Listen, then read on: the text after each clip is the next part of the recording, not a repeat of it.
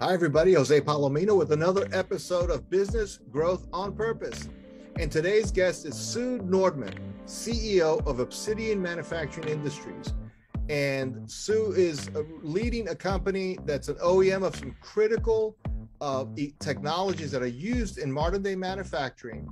And what she's learned in the last two years about pivoting is what we need to listen to because there's been a lot of pivoting, a lot of necessary changes in strategy and approach, and dealing with things as simple as finding, you know, the proverbial screw in the haystack so that you can actually make something.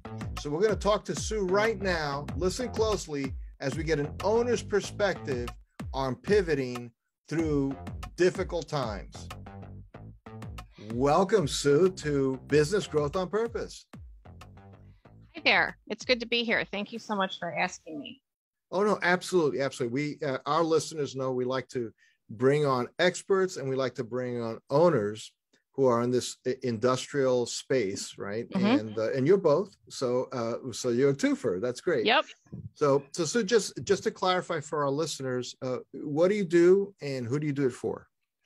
We are Obsidian Manufacturing, and we own four brands. Um, our Magnalock brand is Work Holding. Uh, we own Arter Precision Grinders, which is rotary surface grinders that have been around over 100 years. And we also own two lift magnet uh, brands, MagnaLift and Power Grip. And we also do um, repair services of all of our products or competitor brands and um, surface grinding. We have four large surface grinders that we provide gr- uh, grinding services for. Okay, so, so we're busy. Yeah, I can imagine, right? Things are busy now. The things are hopping in manufacturing in yeah. the US in the last year, year and a half, clearly. Correct. And uh, you know, in our pre-call, we touched on that a little bit, and and and I, I do want to get into a broader theme about marketing, but just stuff that's happening now, and people uh, in manufacturing getting busy, mm-hmm. but sometimes not really knowing why other than hey i'm happy to take the orders and i always tell people like if you're getting orders like be happy like it's good but it's also good to think a little bit about did it come about because you were thinking about you did something strategic you did something right. different or it's just your good fortune so as you look out at the market kind of what do you, do you see the backlog being caught up now or is it as busy as it's been the last year uh, we've been kind of like on a roller coaster ride a lot of things to do with the economy. Um, uh, has our customers waiting sometimes. Uh, right now, I've seen a lot of customers request for quotes, um, especially for newer equipment like new electromagnetic chucks or um, uh, new lift magnets, and then they just kind of wait. Mm-hmm. So it's like they need to know the price, they need to know what to budget for, but they're not quite ready they need some kind of sign. Um, usually, when something good happens in the in the economy, um, the like the floodgates open. But we're diverse enough and well-rounded enough that um, when uh, people first start, when the economy first starts picking back up, we'll see a lot of grinding because people need to get their material ready for whatever they're going to make, um, that type of thing. So it, you know, we've got ourselves spread out enough over a different many industries. So um, we, we always see things coming and going, but there are gauges in the economy that always I can see what's going to happen from this, that, or whatever happening. When right. um, the Russian Ukraine thing was first happening, there was surges. I mean, we just couldn't keep up. Our office people were so busy with quoting and new orders coming in and we've kind of got some time right now to catch up, which is good. So. Okay. Wow. So it's interesting, right? So obviously, uh, you know, no, uh, what's the uh, the title of the book? What? No man's an island, right? It's no person. Yeah. No, no company. You know, we're not. We don't exist in a vacuum. We're exactly. and we're in such a connected economy. So what's what's interesting to me though is I know uh, for somebody in the in the small to mid market, we we don't often see people try to do much in the way of really sophisticated marketing or even like modern digital marketing with some mm-hmm. exceptions and i think you're one of those exceptions you you're committed to it Most was that definitely. something that yeah did that did that come up slowly or was there like a moment in time when you said no we we got to do this to be relevant into the future um ever since i've been involved in any of it um i've been pushing for marketing. You have to be out there. You have to you have to let customers know what it's like um, your culture and your company um, how your business practices are and just the products that you make and how you service your customers. That's it's just you have to be transparent about those things and marketing is a good way to do that. Good way to uh, relay your messages to to your to the world. I mean let's face it everything's on the internet so who knows who, who's looking at your stuff right and yet to this day and i'm sure you have perhaps colleagues or peers in the industry that you've heard say like you know our reputation precedes us and we Correct. get a lot of our work through referral and yes. when I hear that, I realize, okay, so you, you know, the, the person saying that I, I, I kind of sense they're a little bit intimidated by all the newfangled stuff, which by the way, isn't that newfangled anymore? It's yeah. like 20, we've been doing it 20 years. Yeah, so it's not, it's, exactly. exactly.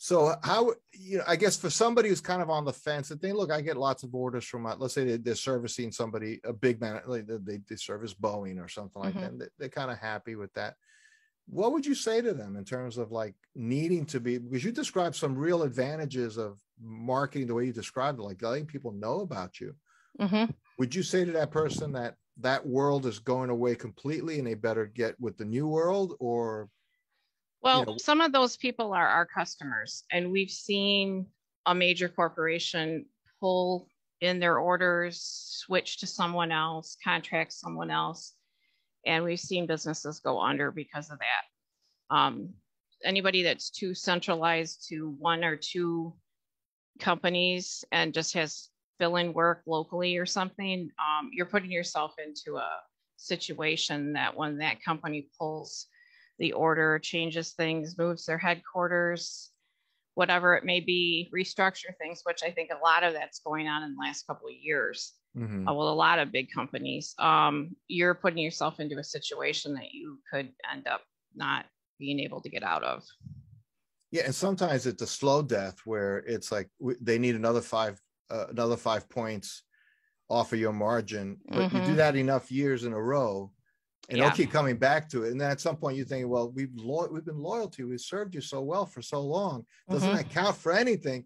Yeah. And then you realize you're talking to somebody who's been on the job for two years and they don't remember any of those things that start, you know, 20 because the business yeah. changes too fast. Exactly. And that person that they were dealing with retired, switched locations, departments, and unfortunately during COVID, there were some of our contacts that actually passed away. So I mean, wow. once you lose that connection, it's very hard to get back into those big companies. I mean, we have like a customer list that's six, seven, eight thousand different contacts, and you have to be constantly updating them, reaching out to them, making connections because people come and go all the time. And it's the personal connections that you have with that company that are going to keep your business going. Most definitely. Right. But you need to, I think the, the, the you know, the, the, the message there though is, but you got to work the list. Oh yeah. I mean, you got to be verifying it and you got to do email marketing and, you know, you got to answer your phone I mean, we get that from a lot of people. Our compet- some of our competitors have an automated call system, which we do too. But we nine times out of ten, somebody will pick the phone up. We get back to our customers as fast as we can with voicemails and that type of thing. So yeah, I mean, it comes back to personalized customer service. Well, that's great. You know, it's it's funny because over the years I've spoken in front of like many like Vistage groups and other mm-hmm. roundtable mm-hmm. type groups, and I said, you know, who here has great customer service? Everybody raised their hand. And I said, have you ever dialed your own 800 number? Exactly. And they and everyone's looking at their shoes at that point, right? Because I said on I could I wouldn't embarrass anybody, but if I were to just mm-hmm. randomly pick one of you to call right now an 800 number, you would see an experience that nobody would as human beings we don't like that when we have to call american express exactly. or or our exactly. bank or anything like that so why would your customers who have options right? Like exactly you know, in most of these categories, there are options. Why would they tolerate that? So it's such an and it's a it's a relatively easy fix once you identify it. Yeah, you just always have to be thinking like your customer, putting yourself in your customer's shoes. It's the best way to sum up a lot of things. Isn't that true? That I Isn't love it? that. No, Yeah. no, I love it. Yeah, think think like your customer. It's like what would you like if you were your customer? Would you like to do deal? Would you like to do business with you? Exactly. I put myself in that kind of situation all the time when we have something coming up in the office or with a project or something. And I'm like, wait a second, let's look at it from the customer's point of view. Mhm. And then everybody starts thinking, and we're like, okay, this is what we have to do. It's all about integrity, Right. Well, you know. so so the the the other part of that, right? So there's one and how you communicate that Mhm. you you know you, you know things like you see you mentioned integrity. I don't want to skip over that. That's corporate culture. That's telling Exactly. the truth. Um, Well, yeah, I'm not talking like anything bad, but I'm just saying, you know, oh, they'll be okay with this dead, you know, deadline extending or this or that. And I'm like, no, we need to to be on the level here and say it we're not going to make the mark, you know, we messed up, whatever the matter is at hand.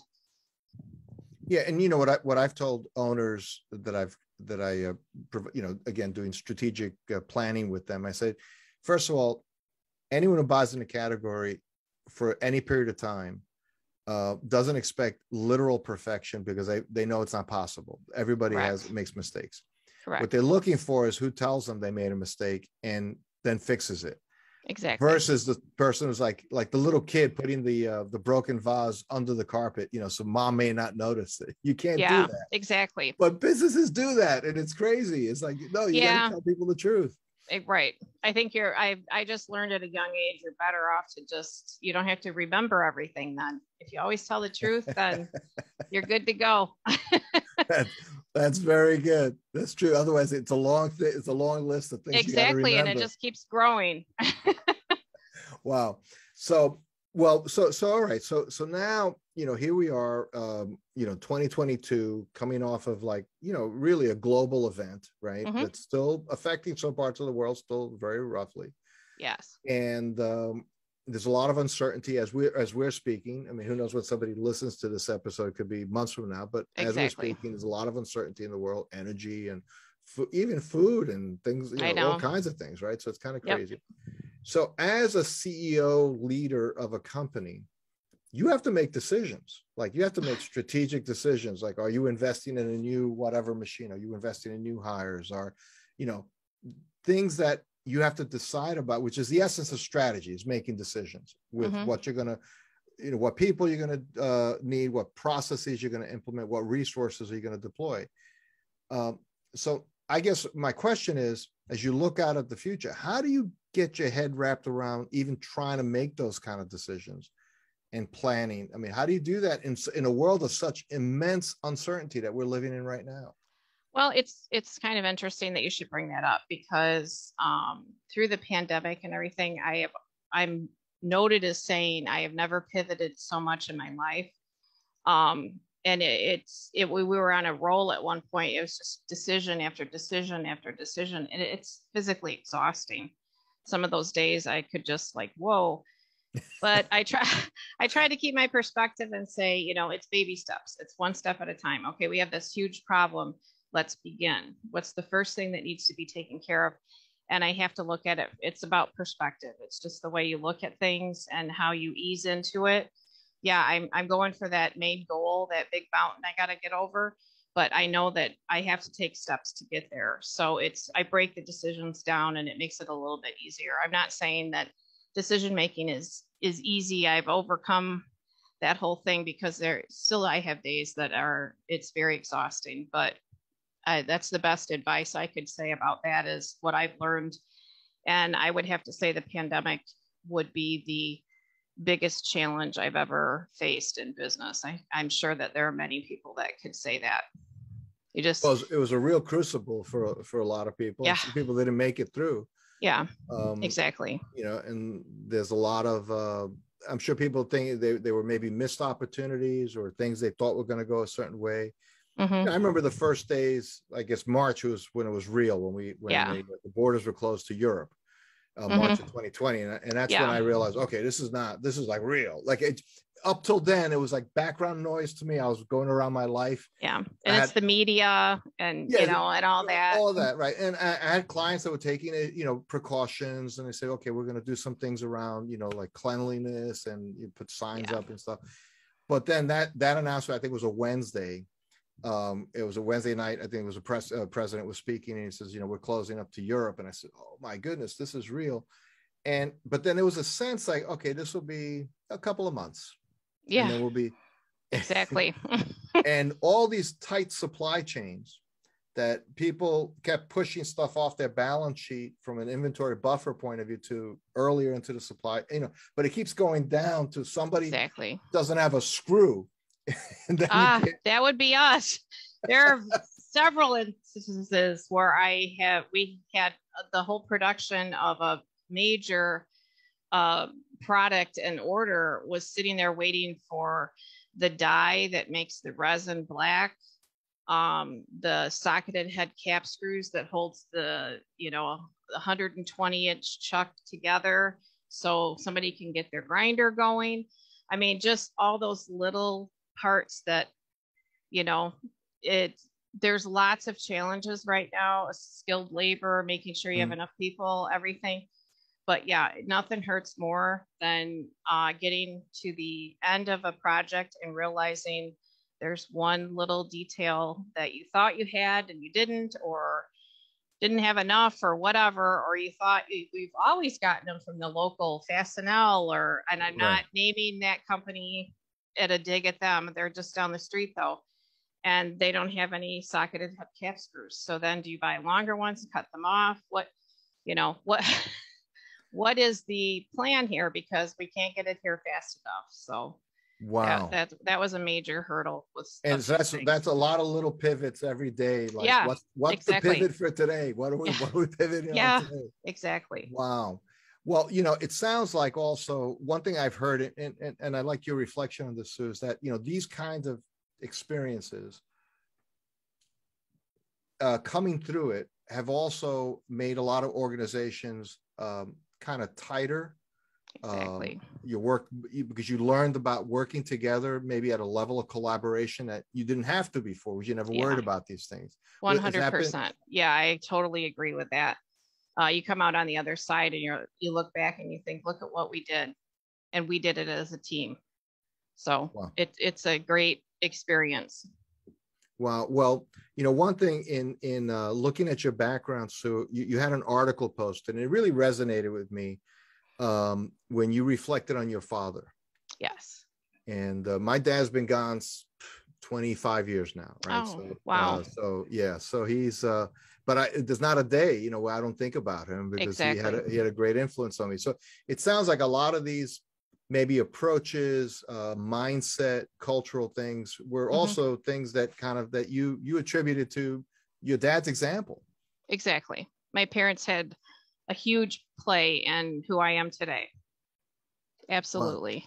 Yeah. Uh, He was my mentor all the way until his last breath. So Wow, that's that's really sweet, and that's a Yeah. that's a, something, you know. So those are like legacy things, right? So sometimes Mm-hmm. people who are not in business think, and and I know, and there's there's a side of business that's like let's say the PE investors that it's just you know it's just a thing you buy and you make Mhm. money with and so on. But I know for owner operators, business is a lot more than just an asset. Exactly. It's it's it's more. So could you just reflect a little bit on like you know what what does it mean to run a business for you? Oh boy. um, well, it's you know the days that I get up and I don't feel like working, I still come into work. Um, I think it's it's part personality traits, um, but it's also just I'm dedicated to it. It's not just a job for me. Um, but I have a tendency to be that way no matter where I worked in my past. Um, I just took it seriously, and that's probably my parents coming through to me as my work ethic. Um, I, I stick with things. I'm persistent. We're gonna we're gonna reach the goal some way or another.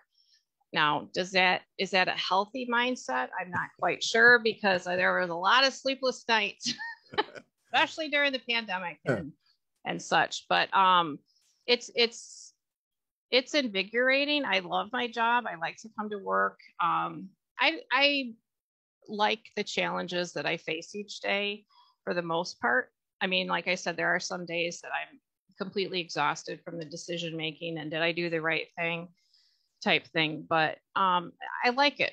It's not for everybody though. I, you know, definitely isn't. There's no correct. Doubt. Right. There's, yep. There's no doubt. Not everybody can either start a business, run a business, take the responsibility, or of, they, yeah, they just don't want that commitment. Right. And I understand that. I mean, I that could be some of my employees, mm-hmm. and I understand that. So we work together, and and we both get the job done side by side. So that's great, great. Yeah. So I really appreciate you stopping by and and well, sharing thank you some for of having your insights. Me. No, no, this is great. So if somebody listening wanted to know more about your firm, you where where should they go on the web to learn more about you and and maybe uh, you in particular? Our website um, is obsidianmfg.com. We also have websites for our brands just because they were well established names in the markets and um, it'd be a little difficult to join them all into one website. But you can go to our main website and get to any of those. Um, and I'm on LinkedIn. I mean, I'm open to connect with people. So just under my name, Sue Nordman. So fantastic. Sue, thanks so much for stopping by. Thank Business you again for purpose. having me. Absolutely. Our pleasure. All right. Thanks. Bye. Bye bye. Thanks for listening to another episode of Business Growth on Purpose. If you like the show, hit subscribe and leave us a review to help other people find the podcast. And if you're ready to take the next step in driving intentional growth for your business, come check out what we're doing at valueprop.com. We've developed industry leading programs and systems to help B2B owners take control of their growth. Until then, thanks for listening to another episode of Business Growth on Purpose.